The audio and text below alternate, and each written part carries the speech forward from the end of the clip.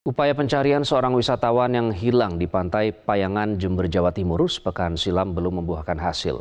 Korban hilang tertelan ombak besar saat berenang bersama tiga temannya yang lain. Papa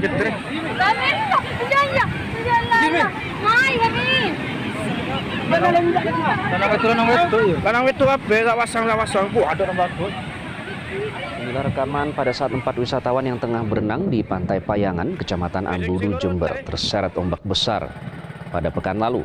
Pada waktu itu sejumlah warga berupaya menyelamatkan para korban, tim SAR langsung melakukan penyisiran. Tiga dari empat korban berhasil diselamatkan, sementara satu korban atas nama Doni dinyatakan hilang. Saat ini tim SAR kembali melanjutkan pencarian Doni.